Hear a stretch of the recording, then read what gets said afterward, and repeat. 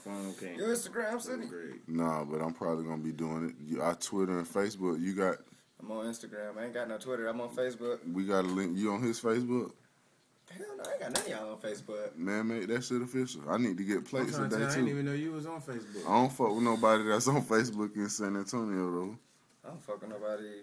Well, I mean, Shit, I'm Augustine Davis. all I do is fuck with people on Facebook, but This shit like the um Tell you the this. 70 show. Y'all niggas gonna feel me. DJ 4751. I'm out here in Dallas, Texas.